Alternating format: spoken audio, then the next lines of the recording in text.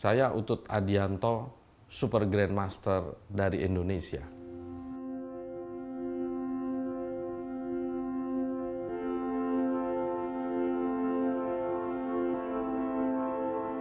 Catur ya, karena saya mulai main catur dari kecil, buat saya itu hidup saya.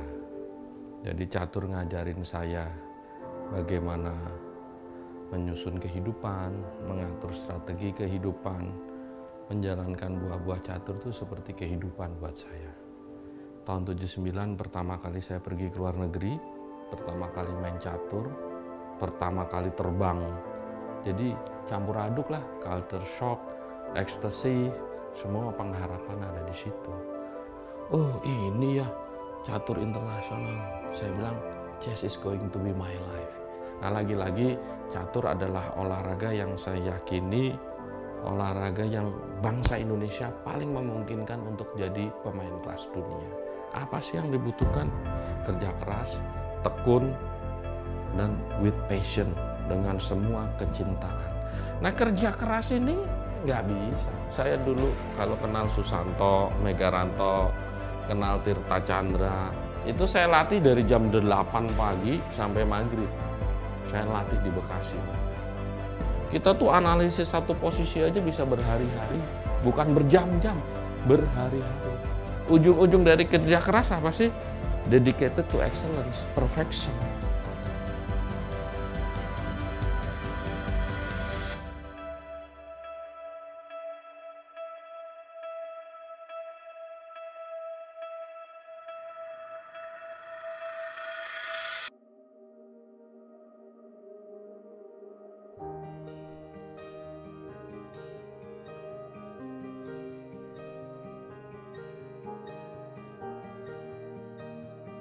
Namanya Mutia, biasa dipanggil Muti. Sorot matanya tajam dengan biji mata kecoklatan. Alis tebalnya terlihat seolah menyatu saat sedang menatap lekat-lekat bidang catur yang tergelar. Guratan langsung di pipi hitam manisnya terlihat amat jelas di wajahnya yang tegang. Di sekeliling ramai riuh, suara anak-anak yang menonton bersahutan mengomentari bak pemain catur profesional.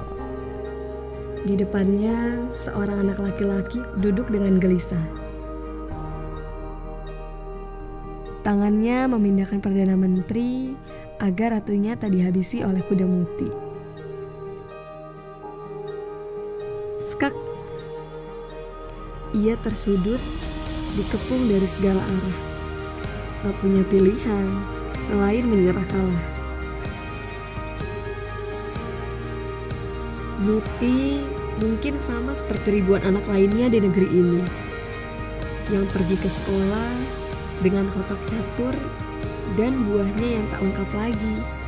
Yang membedakannya, Muti beruntung lahir di keluarga sederhana yang mendukungnya dan diikut sertakannya dalam berbagai pertandingan guna mengasah ilmu dan pengalaman. Sedang ribuan anak lainnya menunggu untuk ditemukan.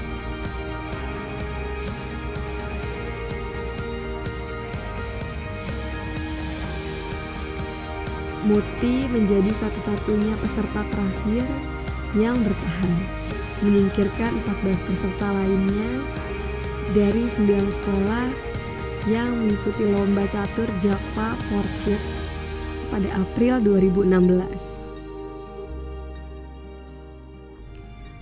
Sorak-sorai plus tepuk tangan penonton bergemuruh.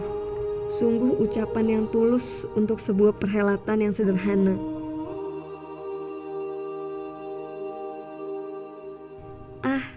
Selalu ada hasil yang unggul dari setiap bibit terbaik yang dipilih.